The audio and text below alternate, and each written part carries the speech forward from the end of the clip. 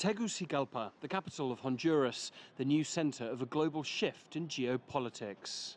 Honduras established formal diplomatic ties with Beijing in March, and just this week, China inaugurated its new embassy here in the capital.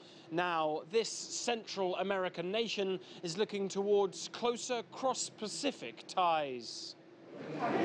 The inauguration ceremony saw officials from both nations celebrate in what economists here are calling a key moment for future progress. Creo que el siglo XXI más bien 21st century must be a period of unity for humanity.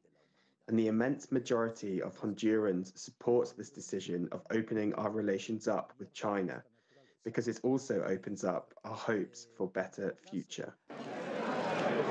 Honduras is also getting an embassy in Beijing, appointing renowned medical science researcher Salvador Enrique Moncada as the country's first ambassador to China. As a former Honduran ambassador himself, Efrain Diaz says the ambassadorial nomination can greatly deepen the country's relationship. It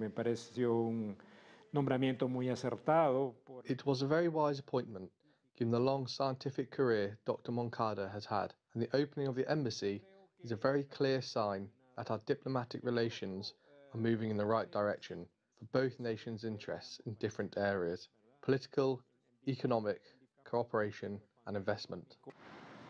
However, as a country struggling with high rates of poverty and external migration, this Central American country hopes to learn from its new cross Pacific partner.